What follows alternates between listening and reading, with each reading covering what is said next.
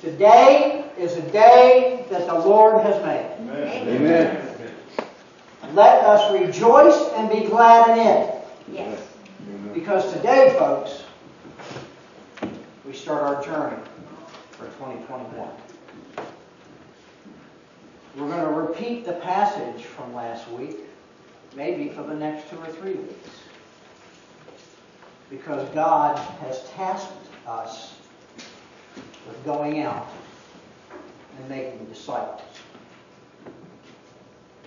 As I was preparing the sermon this week and praying over it and, and, and trying to trying to find God's revelation for me to deliver to you, I hit a roadblock. God just stopped talking to me. You ever had that happen? Just in the midst of what you're trying to do, you can't hear God's voice anymore. But let me tell you something. When he decided to speak again, I was off and running. I typed over 5,000 words before I started chucking that thing down.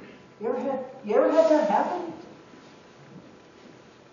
Just he won't stop talking to you?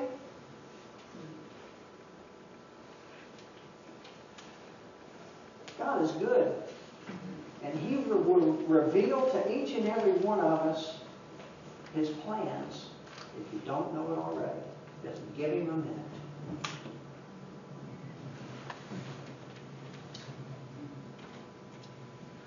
I'm grateful to be here today.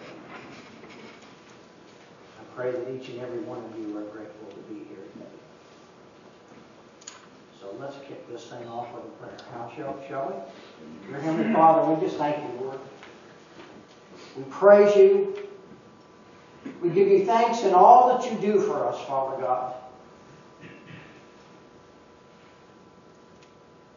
Father, we come to your house this morning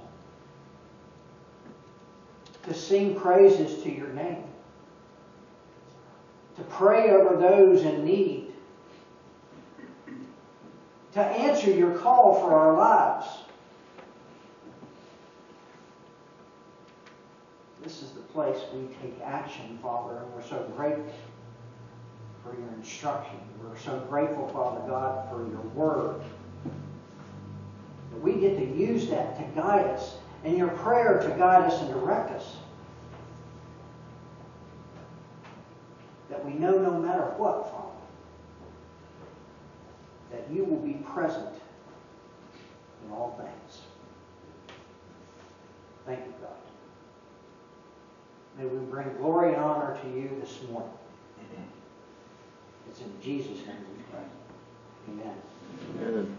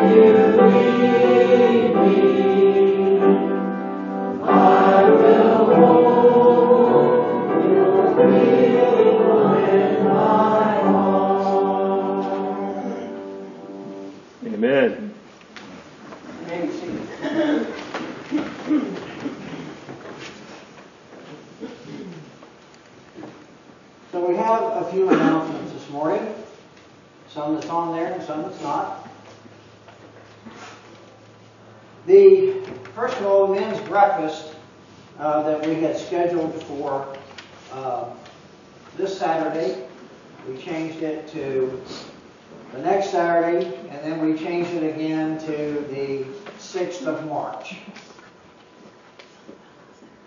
I'm not going to tell you who we need to blame for this. But that leads me into the next announcement. Uh, All Blessings Flow has asked some volunteers to help out with moving their shelves and uh, items. And again, we had, had it scheduled actually for yesterday, first time, right, Amy? The Saturday before. The Saturday before, that's right. You need to make up your mind. And, but we, you know, they ran into a, a few things that, that just wasn't coordinating right, and, uh, and so we, we moved it, and then we moved it again, and that's okay. Uh, We will be there with bells on Saturday, what time, Annie? Eight o'clock? Nine o'clock. Nine o'clock? And if they, if people could tell me if they're coming, I need a plan. Okay, people will, if you will, if you're interested in helping, please give Annie a call, email her, text her, whatever, and let her know so she can get uh, things coordinated and uh, make sure she's got all the teams lined up properly. We delivered 180 pounds of food for the Green County Pantry last month. What a blessing that is. One thing I want to emphasize this morning is we, we, we want to try to keep up with the, the, the prayer list, keep it current. Um, if anybody you think needs to come off there or uh, you need to put somebody on there, please let, uh, please let Dawn know as soon as possible. Um, we're going to be restarting our Sunday school. We're going to restart it uh, hopefully on 314, which is uh, just about three weeks away. As we continue to meet and talk about that, um, we'll update that date if we change it. Um, we'll have certain instructions to pass out to everyone, but uh, what a blessing it is to be able to come back to Sunday school the morning. Obviously, our Sunday worship time will change probably, and uh, we may we may change a few things with with the time and, and the structure of it. Um, but we will be uh, going back to Sunday school with God so will, on 314. I have a quick announcement. I- I- If you were here last week, you you know that we, uh, we laid out the, the vision that God has provided us uh, for the church, and one of those things was our men's ministry. We mentioned a little bit of it before, about the men's prayer breakfast, but um, in the process of all this, uh, I prayed and I asked, uh, I asked John Flasco to, to lead our men's ministry, and he just agreed. Thank you, John. So if any of you men have any complaint about the breakfast a couple of weeks. Okay? Also, um, we've been praying, we had a meeting last week about Awana and when we start that up again. And uh, right now, we are targeting the uh, second week of April. So stay tuned, we'll give you more information on that as it becomes available and we make some more decisions. Are there any other announcements that we missed? Okay.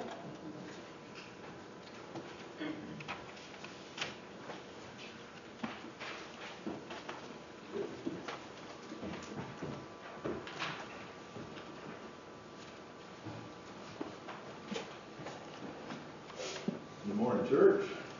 Morning. Good morning. It is uh, awesome, for me, awesome to be able to look out and see so many faces this morning. Last week, there were about, I think, twelve in here. And today, I think we're over thirty, which is, uh, such a blessing to my heart. It's just an encouragement just to see you, let alone to talk to you. Um, I'm going to challenge you for just a moment, and we'll get into the word this morning. I just, I just want you to take a minute in your own heart, your own time right now. And uh, answer this question between you and the Lord. And it's a simple one that, that I feel like my wife almost asked me this morning, and I feel like I want to share it with you. Why are you here this morning? Why are you here? I certainly don't want to put the words or the thoughts in your in your mind and in your heart. Um, but I had to answer that question myself today. You know. I just want to share. I, I, I know one of the main reasons I'm here is to worship my Savior. Amen. I tell you, I just pray that we come together to worship Him because He is so good. And uh, I admit to you that sometimes I miss that. I miss that I come up here to worship Jesus with you. And um, I, I just think it's wrong. So I'm sharing with you that sometimes I miss it. So just take a minute this morning and really think about that in your heart. And I, I know the purpose of this place is to do that. We come together, lift one another up. And I know so much of it has to do with what we do when we leave this place. You know, we come here to get that dose of what we need so bad from the Lord. And then uh, I just know He wants us to do something. So I just, I just pray as you hear the scriptures read today, we're going to pray together and you listen to a sermon from our pastor. My prayer uh, is that you really just examine your heart this morning. Examine your heart, you and God, and you decide. Uh, he will He will do something. He will do something if you seek Him. First scriptures we'll read are in the book of Psalms. It's uh, Psalms 98. And uh, we're going to read verses 2 and 3 together. Psalms 98, verses 2 and 3. The Lord has made known his salvation. He has revealed his righteousness in the sight of the nations. He has remembered his loving kindness and his faithfulness to the house of Israel. All the ends of the earth have seen the salvation of our God. We'll turn together to the book of Acts.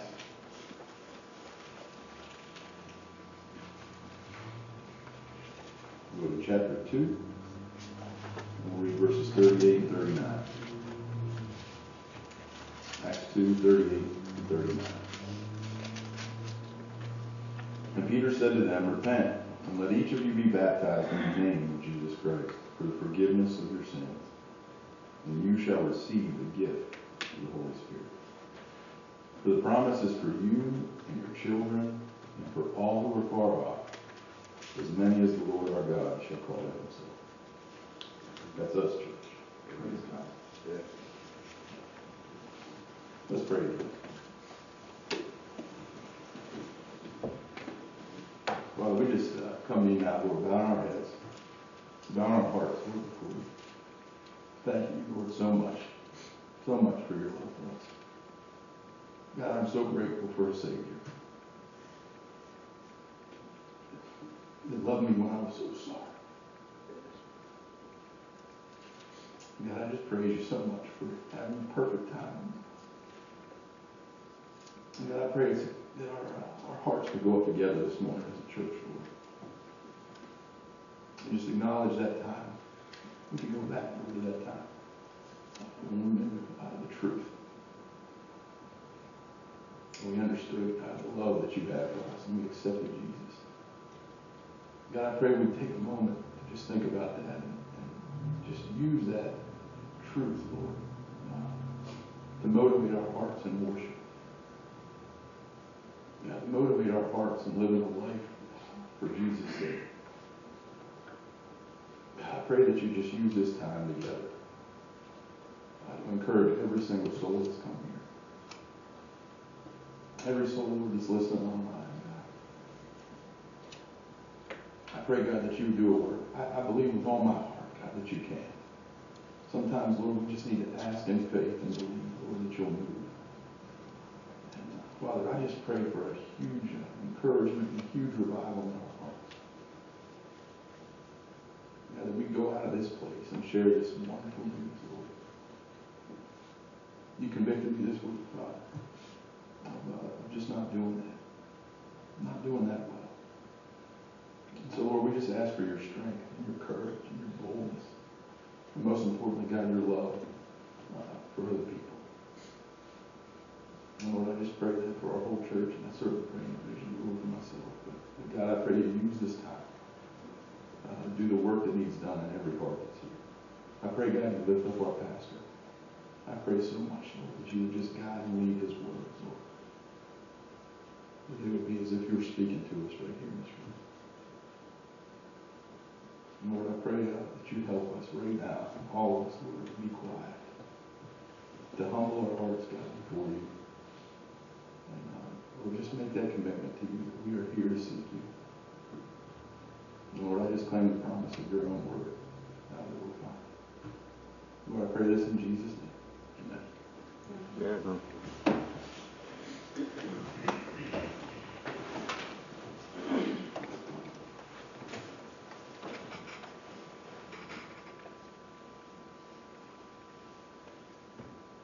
We come to our time of intercessory prayer.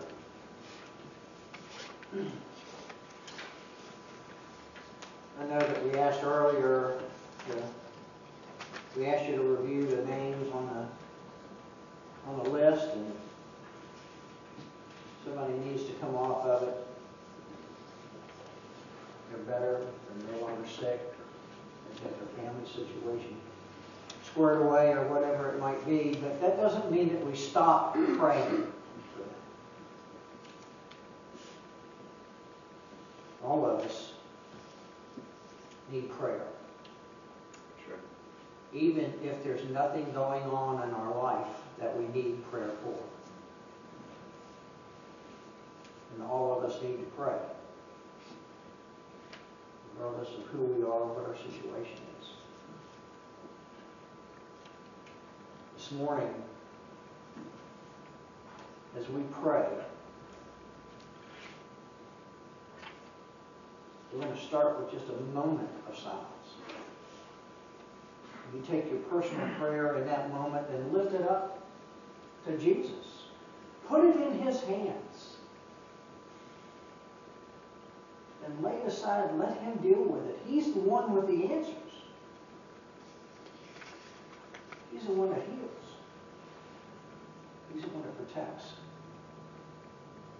Just put it in His hands. No matter what it is, you can give it to Him. And He will deal with it. Let's pray.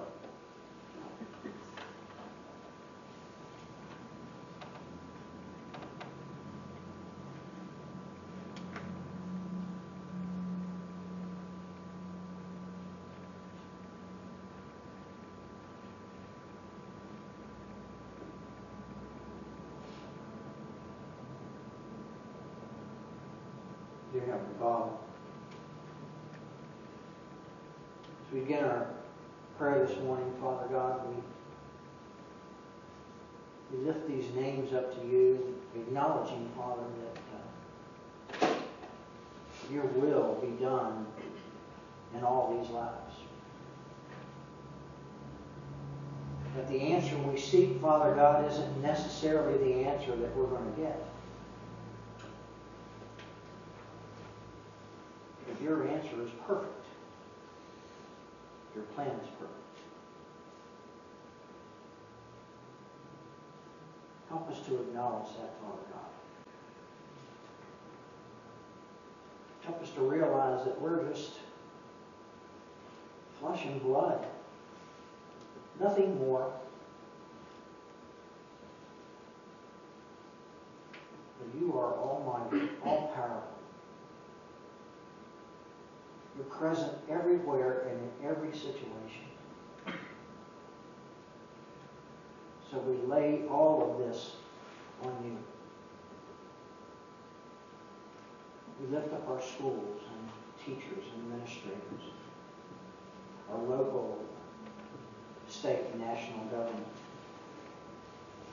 Pray, Lord, that they would direct us in a way that keeps us safe.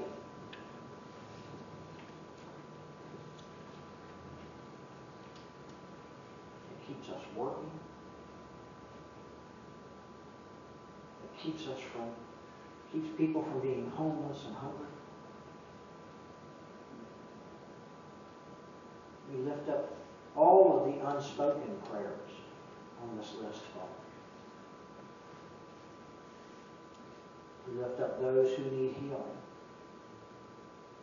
those who have lost loved ones. We pray, Lord, for your continued guidance in our lives. And what, what do we do next that brings glory and honor to you? Reveal it, Father. We pray, Lord, especially for those that do not know you. We ask that you would reveal yourself to them in a mighty way so that they would no longer be doubters, but will become disciples.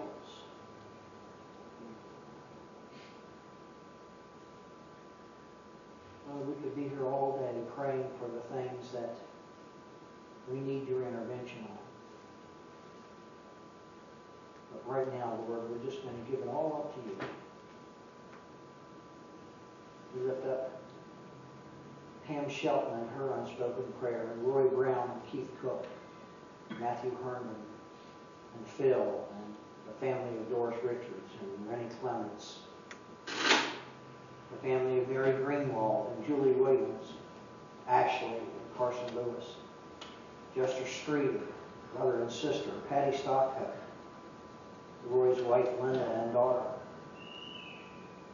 Karen Kaysen and Francis Raines and Debbie Shepard, Sandra and Charlie, Greg Frazier, Ms. Garrison, Christine Bateman's mom, Agnes DeGraw, Whitney and Kelly Wolford, and a customer of Mike's, Rose Page, Earl and Bardena Bennett, and his mother-in-law Frances. We lift up Lisa and Wayne and Becca Sutherland and Red Shelton.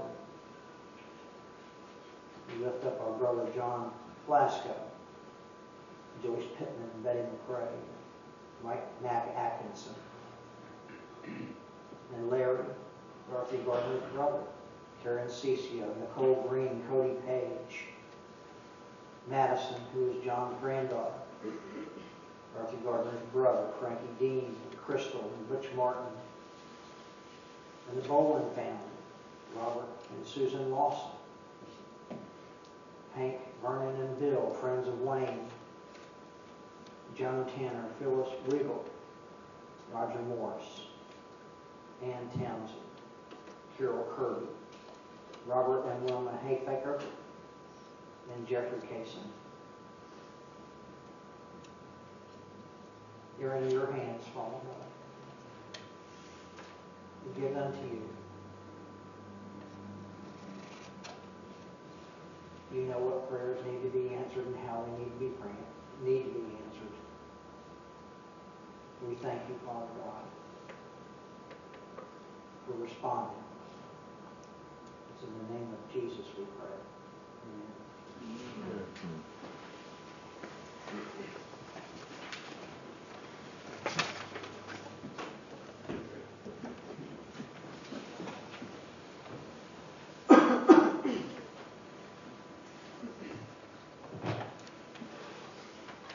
Let us stand as we sing 380, Make Me a Blessing.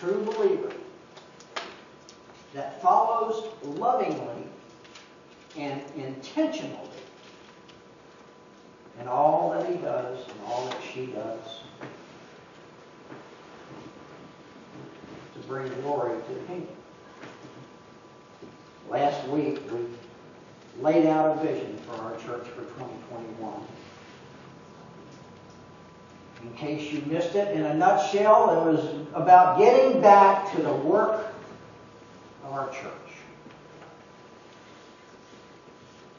That work's supposed to be to make disciples of Christ. Again, our primary passage from this week is the same as it was from last week.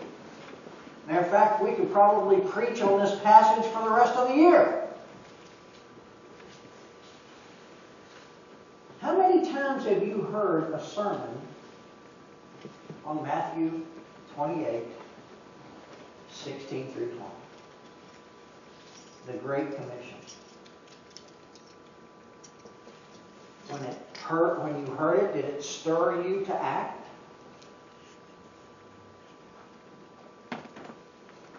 Did you think it was for just a select few?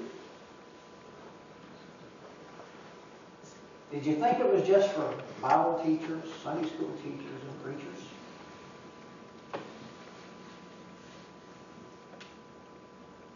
It's for all of us. No matter where we are in our walk, this passage is for each and every one of us who believe. Matthew 28, 16 through 20. Then the eleven disciples went away into Galilee, to the mountain which Jesus had appointed for them. When they saw him, they worshipped him, but some doubted. Jesus came and spoke to them, saying, All authority has been given to me in heaven and on earth. Go therefore and make disciples of all the nations, baptizing them in the name of the Son, the Father, Son, and the Holy Spirit teaching them to observe all things that I have commanded you. And lo, I am with you always, even to the end of the age.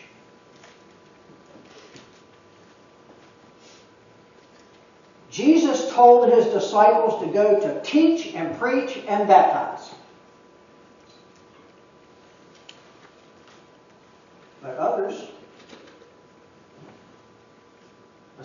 the 11, and maybe even some of the 11, we know probably Thomas, they doubted. You know, for three years, Jesus set the example for these men. Every step Jesus took, every word he spoke, was the example that they would eventually put into practice as they went out. Preaching, teaching on all they heard and witnessed. When Jesus called those fishermen in Matthew 4:19, he also gave them a purpose. He said, "Follow me. I will make you fishers of men."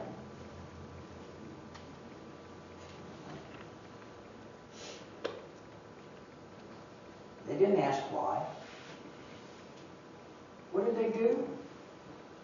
They immediately laid down their nets and intentionally followed. When we give our life to Jesus, we are committed.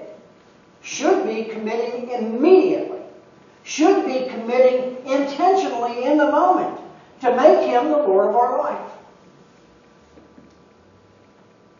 Lovingly following Him in all things and bringing others to the saving knowledge of Christ. That was the purpose for the disciples. And that's the purpose for each, for us, each and every one of us. Verses 16 and 17 Then the eleven disciples went away into Galilee to the mountain which Jesus had appointed them. When they saw him, they worshipped him, but some doubted. Now we learn two truths, three truths actually, in, this, in these two verses. The first is obedience. Obedience is always the expectation, friends. Jesus expected his disciples to meet him on that mountain. Matthew 26, 32, but after I have been raised, I will go before you to Galilee. You notice, if you go back to that verse, there's nothing that says, I'm going to meet you on the mountain in Galilee, and it's going to be on this day, at this hour. I'm sure there might have been some, some other instructions in there. But there's, there's a little place in that verse that says, but after I have been raised.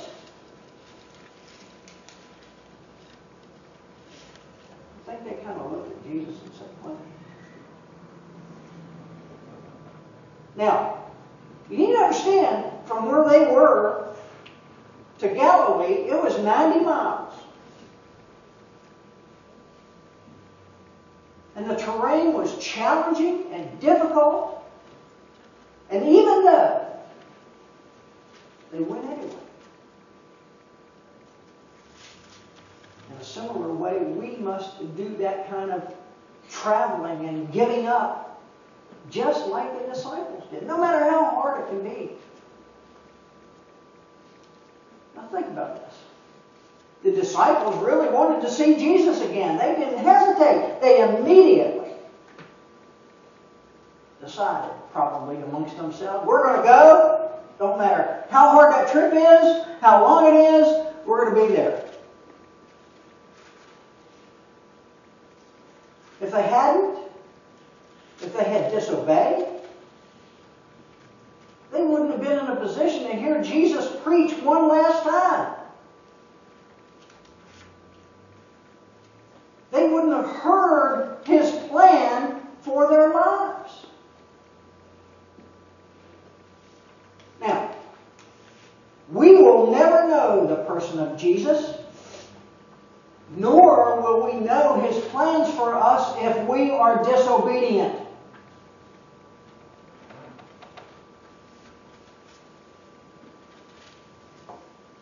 Is the, is the key. It's the key to fulfilling God's plan. For you and me, this church, should be no argument. Shouldn't even think about it. Jesus said, Meet me. The disciples went and met him. And if Jesus is talking to you and say, Go meet me here, you better him here. Second truth is a reverence in which we respond. What was the first thing the disciples did when they saw Jesus? They worshiped.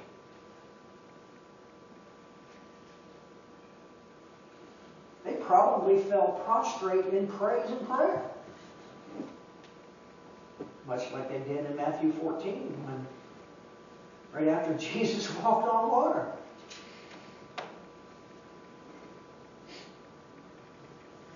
Third truth in this passage. Your doubts, my doubts, they do not disqualify us.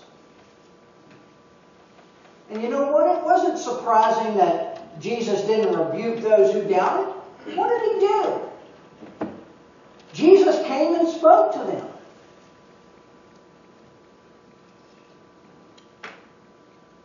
Not that they doubted that Christ was risen from the dead.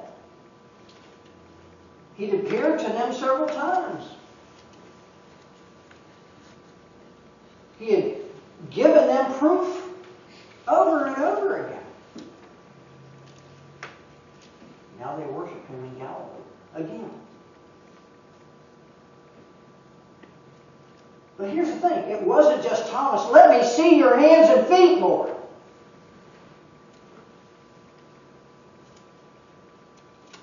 Do you need to see his hands and feet? Do you need proof?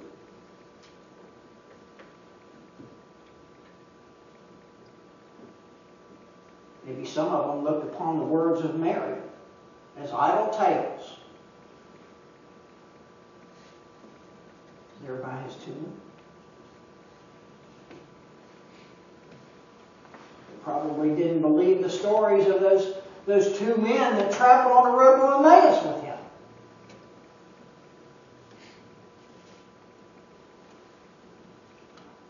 Unbelief. Doubt. Even the best of us, friends, even the best of us,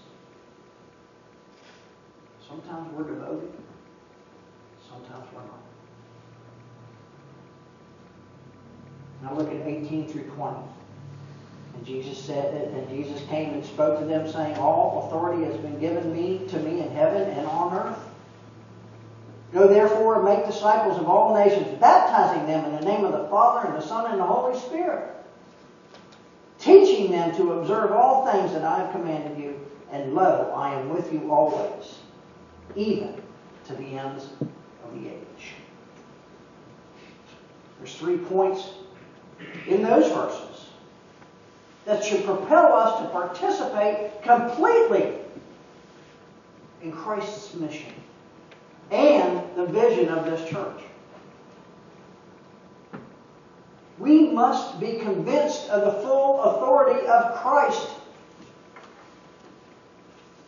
Look at what, you know, think about what he does in, in verse 18. Jesus came and spake to them.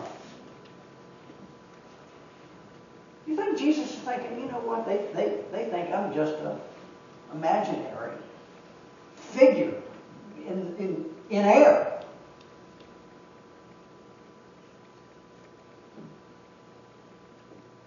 But you see what Jesus did there? He drew to them, not away from them. Then he made sure by telling them, I have the authority. That's what he told them. All authority has been given to me in heaven and on earth. You and I know for a fact that Jesus has the right and the power to do whatever he decides to do whenever he decides to do it. John 3.35 says the Father loves the Son and has given all things into his hand.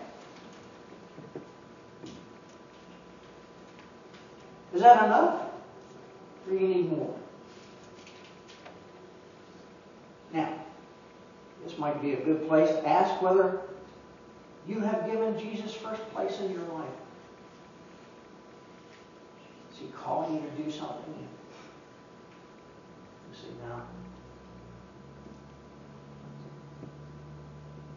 You seek loving and intentional to follow him in all things?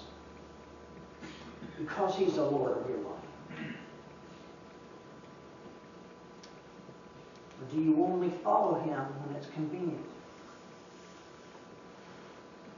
In his book, Multiply, Francis, Francis Chan writes, Imagine Jesus walking up to the first disciples and saying something like this. I love this. This is great. You guys mind identifying yourselves with me? In, in just a little way, it's okay. Don't worry, I don't actually care if you do anything, that you change your lifestyle or anything like that. I'm just looking for people who are willing to say that they believe in me and call themselves Christians.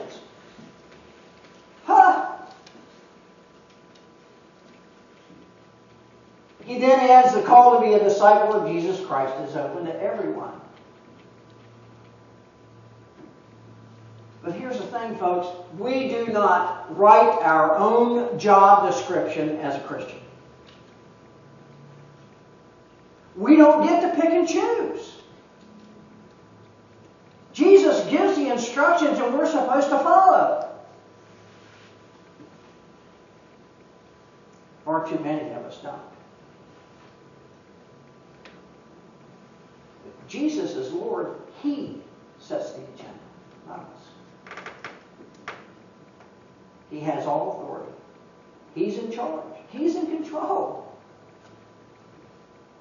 The number one requirement of fulfilling the Great Commission is to make sure that we're following Jesus as devoted followers.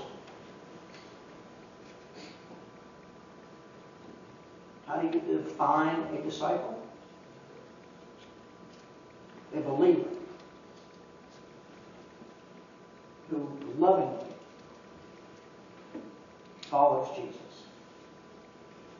and intentionally helps others to follow. Are you a disciple? Do you help others to follow Jesus? Second point.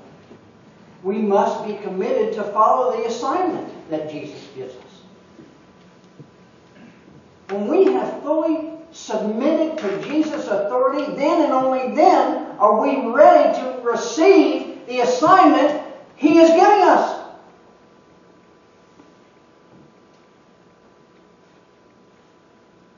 I don't, I don't have to stand here and preach that.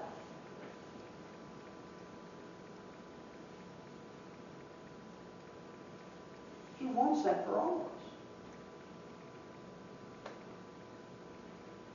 Everyone in this room, Fellowship Hall, those watching on live stream, all of you know. All of you know. Even the doubters know. And Jesus wants all of our heart, mind, body, and soul to be completely committed to Him and the task that He has laid before us to make disciples. Whatever that looks like,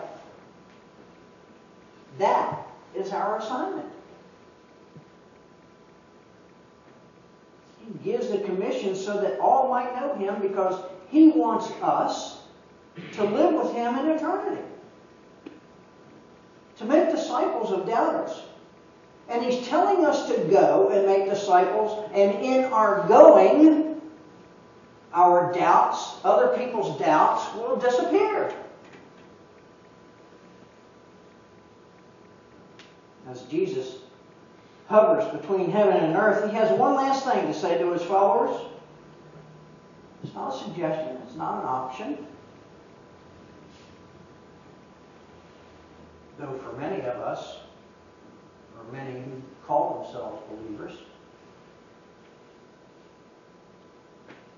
we could call the Great Commission the Great Omission. He says, go. That literally means to transport oneself, to go from one place to another. And in our going, we are to make disciples in the natural course of our lives, wherever we go. It starts right here in this church. What do we do? How do we do it? And as we go, this is what we should do. We must move and not stand still. We're to be active, not inert. What's the first two letters of the gospel? The word gospel. What's the first two letters? They got it, Chris. That's a good thing, right?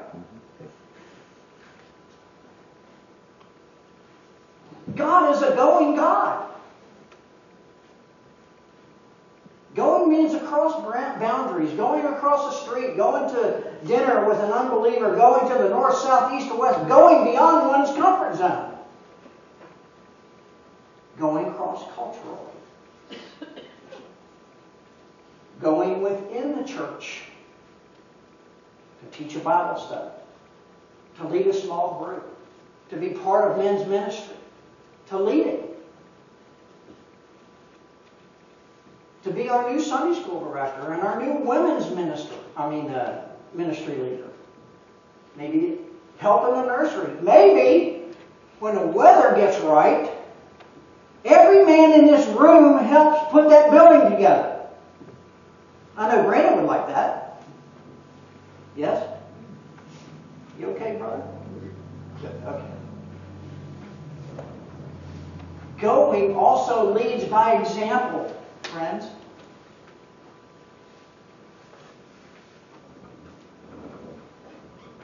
Because of his authority. Jesus has the right to reign supreme and to give the command to go. Everything he says, all that we have been given to do, is based upon his universal and unquestioned lordship. When he says make disciples, we do that by teaching and leading and setting the example. You know what? A disciple is a learner, a lifelong learner. All of us are called to be with Jesus, to learn from Jesus, to follow Jesus lovingly and intentionally. And then go with the gospel to those who need to hear it. Discipleship, being a disciple, it's more than getting to know what the teacher knows. It's becoming more like the teachers. The teacher, sorry. I did a plural there. I didn't do that. Luke 6:40, a disciple is not above his teacher, but everyone, when he is fully trained, will be like his teacher. If we are true believers, friends, then we should be disciples whose intention is to follow Jesus and learn from him how to live his life as though Jesus were living it in us. In short, a disciple loves Jesus, learns from him, lives out what he learns, and leaves a legacy for others to follow. Just as he did on that mountain in Galilee on the day he delivered that command. Our commission, friends, is more than evangelism, more than teaching, more than preaching. It's also equipping and edifying and unfolding new believers into the family of God, into the priesthood, and to reproduce in the churches, outside in the community.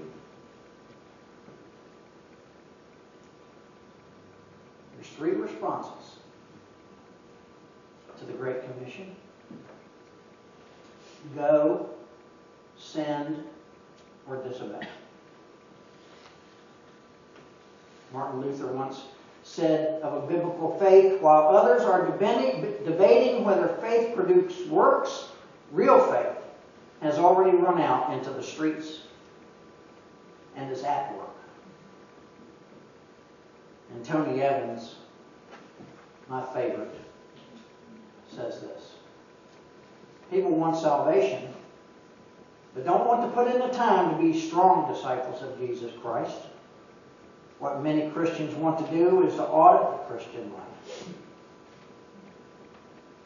Where a person goes to class to get information, but is not required to do any of the work. Christ came near doubters. They knew him. Now he tells them to make him known. Now that we know, we must grow and go so that we can make him known to those who do not know. Everybody get that? Want me to repeat it? Because I got tongue tied when I was practicing. A disciple is a believer who lovingly follows Jesus and intentionally helps others follow him. I put that three different ways this morning. But it said the same thing. Third point be comforted by the faithful assurance of Jesus Christ. He has all the authority to give us any assignment he chooses.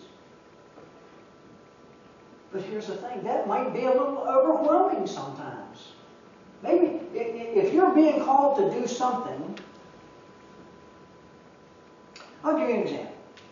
John, I'm going to use you for just a minute. Is that okay? You right, brother? You, you sure? Yes. Okay. I didn't see the smile in his eyes. Mask. but what if John had said to me when we had our conversation about leading the men's ministry? I just, I just don't, I just don't think. I don't think what, that's what God's calling me to do.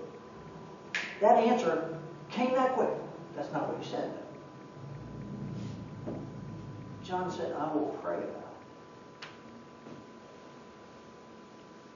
Then I also told John, think about it. Do you have any questions? Too many of us bring all these questions up when we feel like God's leading us, to them. and then we make the decision, "Uh, I don't think I can do that. I can't be a deacon.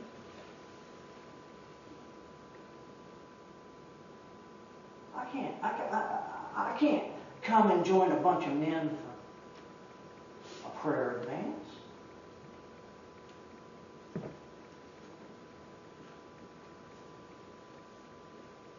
I can't serve food to the homeless. I can't go to Walmart and evangelize.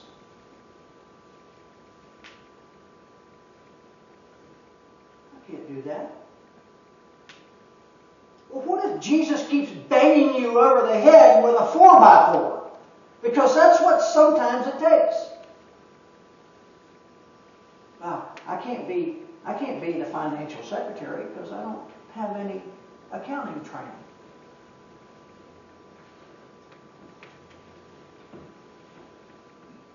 I can't be a deacon because I've never deaconed it before.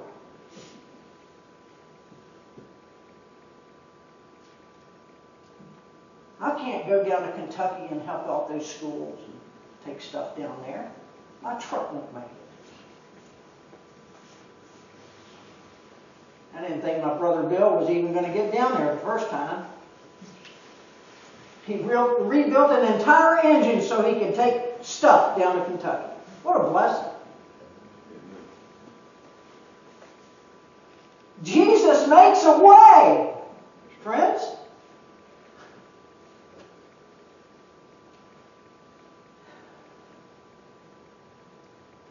Jesus knows that sometimes your assignment's going to be overwhelming. So he quickly promises his presence in the last part of verse 20. And behold, I am with you always to the end of the age. Jesus may give us an impossible assignment, but he does so with his authority. God given authority and also with his faithful assurance that he will be with us every second, every minute, every hour of the day. Matthew began his gospel explaining that Emmanuel is God with us. Jesus promises to be with us when we confront someone about sin. In this passage here, Jesus is not only with us when we gather in His name, but when we go in His name.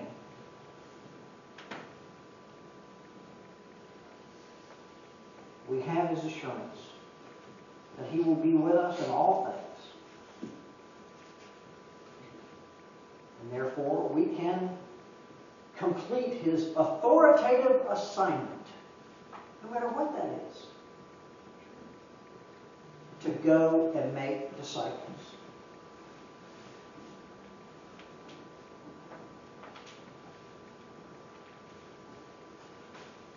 In that sense, we don't go for him, we go with him. No matter how challenging, no matter how difficult. The- Redeemer is with us. And here's the bottom line. We will never know if Jesus has the power to help us until we really need his help. And we will never know if Jesus is with us until we decide to go somewhere in his name.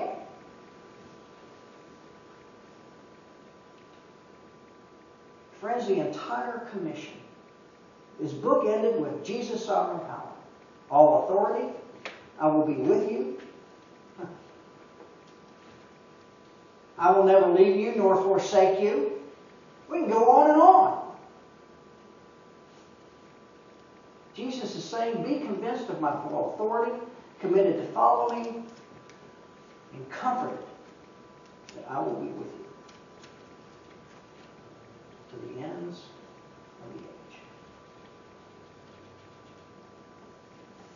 We've been given a very great task. We don't need to attempt it in our own strength.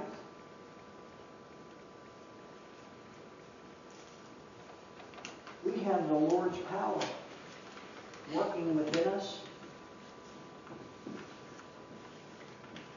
as well as His promise to be with us to the end of the age. And every time we go with the gospel in our hand, every time we strive to live out the Great Commission, every time we have that awkward spiritual conversation, every time we seek to disciple someone, Jesus will be there.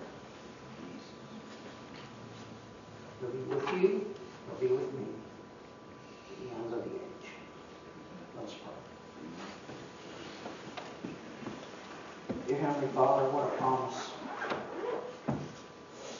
You will be with us. You promise your presence. We we are never, never more closer to you, Jesus, than when we are doing what you have commanded us to do. Thank you. Father, guide and direct those assignments you give us. We rely on your promise to be with us. May what we do bring glory and honor to your kingdom. It's in your name we pray. Amen.